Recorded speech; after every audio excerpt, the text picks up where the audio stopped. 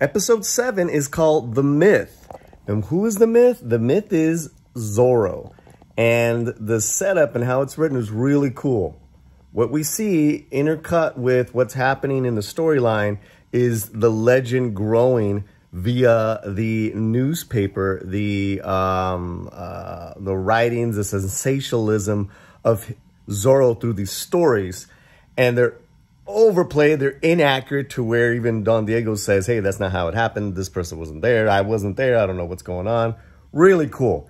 And also, too, every time that they show, and because they, they don't, you're not just seeing the characters read the articles.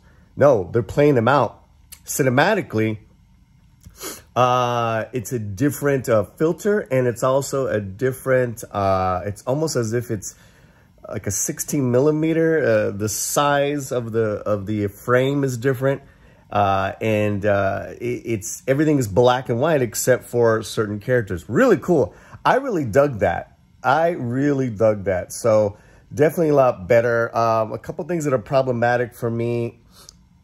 Oh, let me tell you what else I liked. I like that Don Diego, eh, you're really seeing him uh, working his strategies. He's a smart man.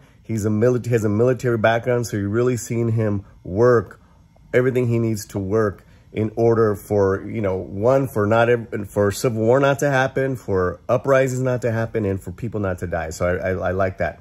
Problematic.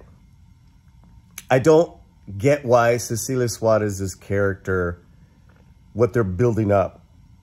They're trying to build up this character that's coming to town, the big baddie, uh, where you um, you already had villains, and unfortunately, big spoiler here, guys, they kill off the governor. I mean, the best villain that I thought would have been fine for a, season one. You kill off that villain at the end of season one that guy's gone. And then the, the Russians be killing each other. So, um, it's all right. You know, that, that action was okay. I'm just like,